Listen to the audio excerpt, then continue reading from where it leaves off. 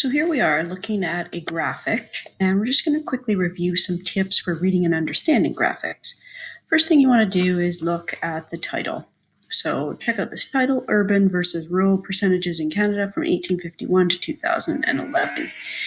Uh, a key thing there is you're reading and thinking, uh, it's urban versus rural. So that versus is like a comparison. Um, and then it's in Canada and it's from those years. Images. What are the pictures and colors trying to show? Okay, so there's two obvious colors here standing out. So red represents rural. What's going on with that? Well, it looks like overall it is declining from those years.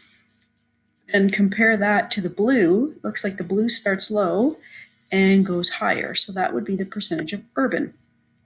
Numbers and text. So you can see the years are down here on the x-axis. Uh, these are percentages along the y-axis. Uh, what do these numbers reveal? You could pick out specific percentages, um, but you can also look for sort of a, a main message in this graphic.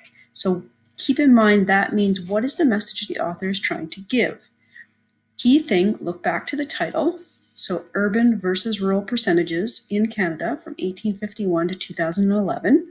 So again, we're looking at comparing urban and rural percentages.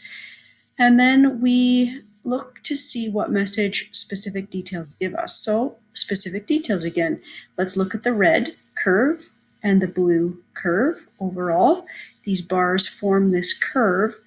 So I am led to believe that the percentage of rural in red is decreasing and the percentage of blue or urban is increasing over those years.